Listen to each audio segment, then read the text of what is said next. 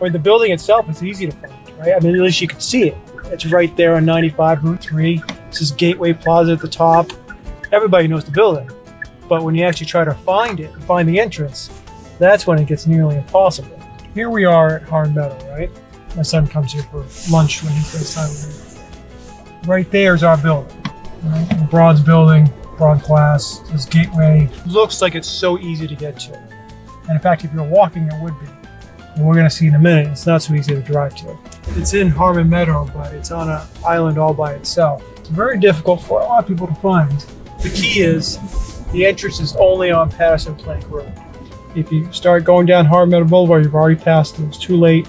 Now you're on the other side of Route 95. And there, there it goes. There's our building, right? No entrance.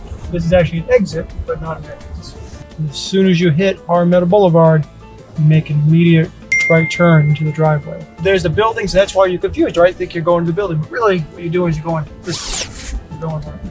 So our intent is to grow, and this is the first step in expanding. At some point, we hope to be a nationwide firm. Right now, we're in New Jersey, New York, Florida next, Texas soon. What we do, especially in the bankruptcy world, we can do that nationwide. It's federal practice. The law here in New Jersey, New York is the same law as it is in California, Texas, and Vermont. Some neat features that we did is we have these noise cancellating ceiling tiles, so there's no echoes, which is important because some of our guys get pretty loud, or if you meet with a client or you're on a conference call, you don't want the echoes. Jamal's in there having a, a conference with a client right now, you can't hear a thing. Hi guys. That's, that's the tour. That's our goal. That's our intent. Just keep growing and do it well, do it profitably, and serve our clients along the way.